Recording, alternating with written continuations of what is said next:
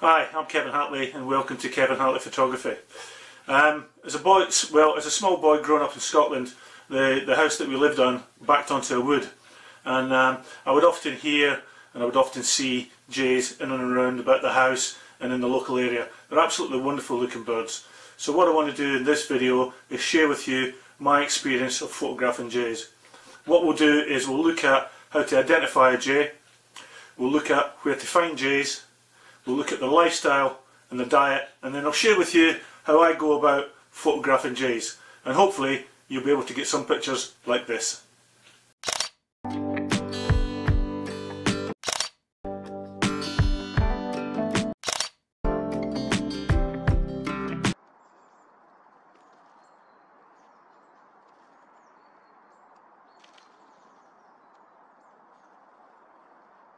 Okay, how do we go about identifying a jay? Um, it's quite difficult actually uh, when you, you, you, look at the differences between male and female and we'll talk about that in a minute or two. But the, the jays are a member of the, the, the corvid family, crows. It's about the size of a jackdaw, um, similar in height and, and, and shape. Um, its Latin name, uh, if I can get this right, Gar Garrulus glandulus, um, has two meanings. The, the garrulus part means it's noisy, which jays are, and the glandulus part means of acorns. And when we look at um, its lifestyle and its diet you, you'll see why jays are often associated with acorns. Um, the jay itself is uh, on the outside it is mainly pink and brown. Um, the underbelly is, is slightly paler. Um, the wings are black and white uh, in patches and they have striking blue and black stripes on the wing. Uh, you, you can't mistake mistake the bird for anything else when you see the, the beautiful blue and black flashes on its wing. Um, the tail is uh, white and often when you, you, you watch jays in flight, when they're flying through a wood or they go past you, what you will see is this brilliant um, white flash. Uh, it really does stand out and you'll know straight away that it's a jay. Um, when it comes to the, the, the head of the bird, um, you'll see that the jay has a really, really good um, identifying feature of a, a black moustache. And its bill um, is a very thick black bill, um, which you will see in action uh, when it's feeding. Um, and that's the, that's the jay, that's how to identify them. Um, as I said, it's very difficult to tell the difference between males and females. Um, the difference really being that the, the females tend to be slightly smaller and a bit duller in colour. Um, although um, on the more mature female birds um, you will see um, some streaks on on the chest but it's very very difficult to to identify um, the, the difference between a male and a female and I really think unless you see them standing side by side that's the only real time that you will be able to tell the difference between a, a male and a female um.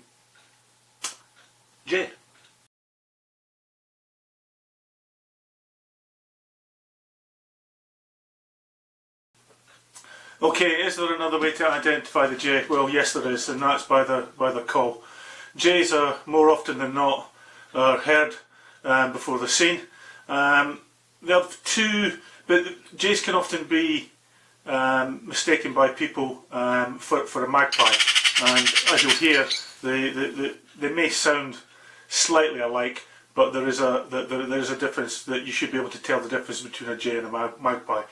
There are two calls uh, basically. Um, first one that you're going to hear is uh, a, is a contact call that jays will use between each other.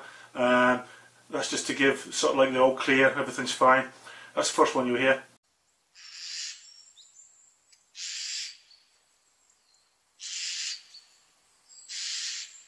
And then the, the second one you're going to hear is the alarm, which is a, a lot louder. And this is where the noisy part of uh, its name comes in.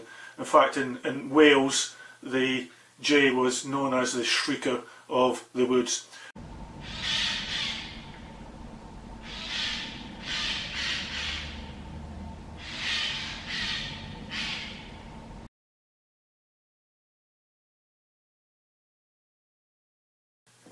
So where are we going to find jays? Um, jays are resident birds here in the UK.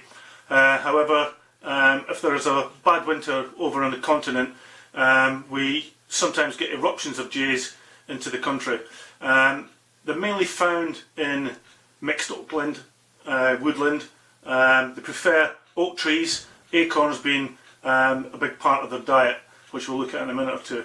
Uh, but you also find them in parks and gardens. Um, they will come to bird tables and um, feeder stations. Um, I've set up a feeder station um, this year and uh, that's where I've got the vast majority of my photographs from. But they will come to bird tables and if you're lucky like Mr and Mrs Roberts that I know in Germany, um, they, they have jays coming into the garden virtually every day and they get some really good photographs of them in the garden. Um, the secret to, to finding a jay is really if you find oak trees with a good supply of acorns then the likelihood is pretty much high that there will be jays in the area. So mixed woodland, parks and gardens, bird tables and feeder stations are where you're going to find the jays.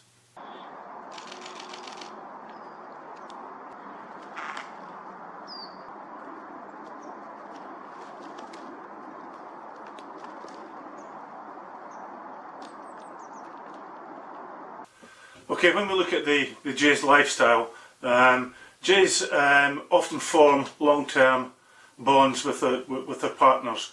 And the breeding season normally starts around about late April um, and the nest itself is, is built by both birds.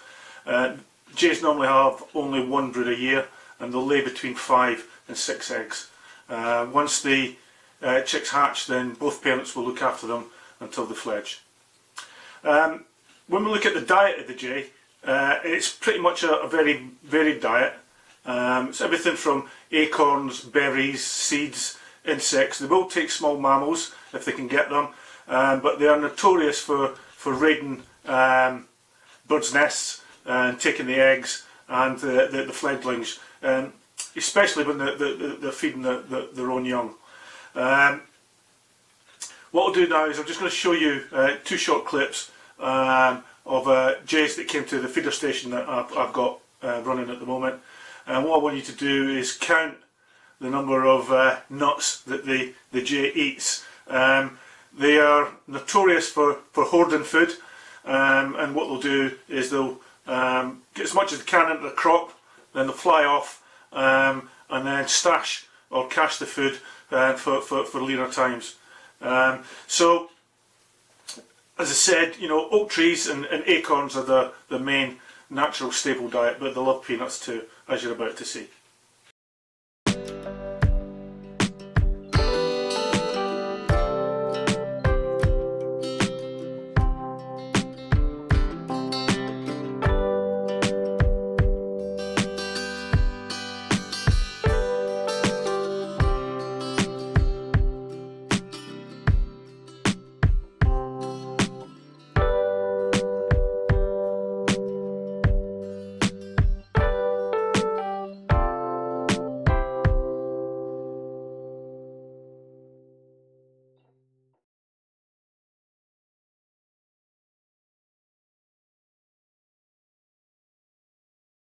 Okay, well, what I want to do now is uh, I want you I want to talk you through my approach to, to photographing jays.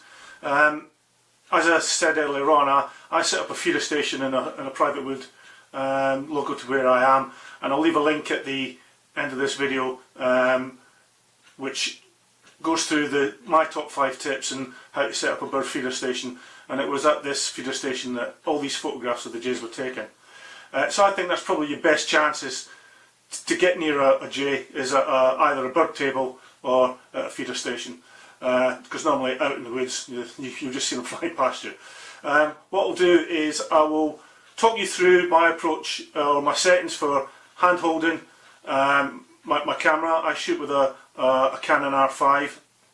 Um, I'll talk about settings for um, using a tripod or a monopod or a beanbag and then I'll talk about the settings that I set for um, taking pictures of jays in flight. Now I sh always shoot in manual and I always shoot in raw and that's just so that I've got more control over my post-processing.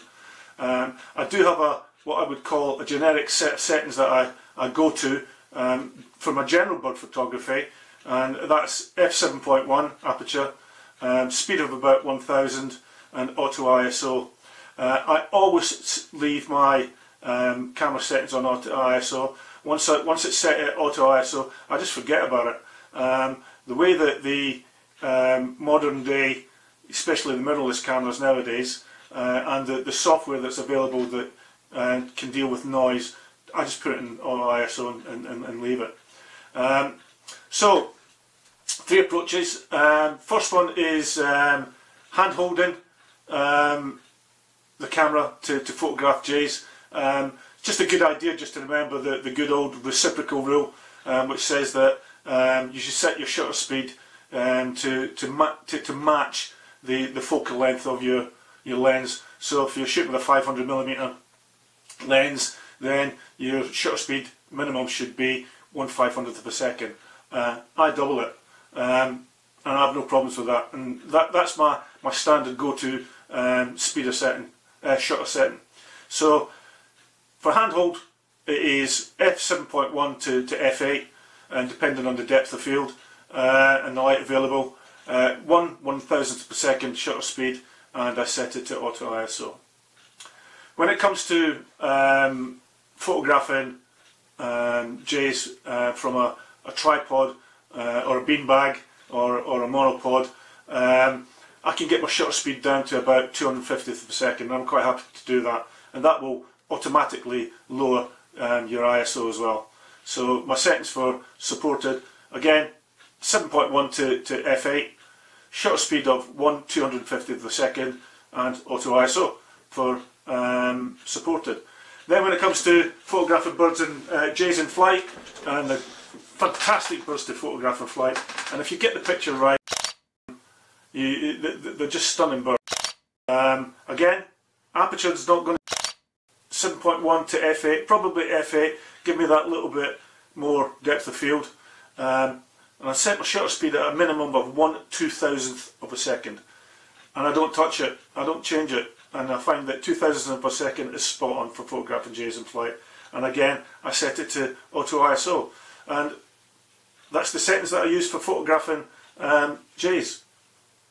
Okay, just to summarise uh, how I my, my approach to photographing uh, jays. Uh, I always shoot in manual, shoot in raw, um, set my aperture 7.1 to, to 8, set it at auto ISO and the only thing that will change is the shutter speed. 250th of a second when it's supported, 1000th of a second if it's handheld and 2000th of a second if it's in flight. What I want to do now is just leave you with what I consider to be some of my best images that I've taken of jays at the feeder station and this winter. Uh, I hope that you enjoy them.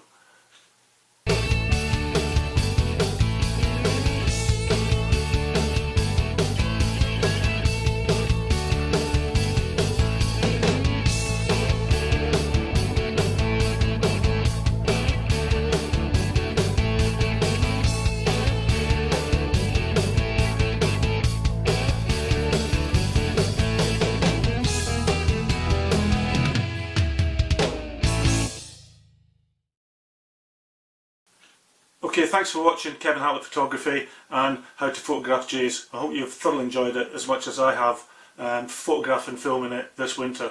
Um, as I said at the beginning, uh, ever since I was a small boy growing up in Scotland I've been fascinated with jays. They're beautiful birds and they're great to photograph.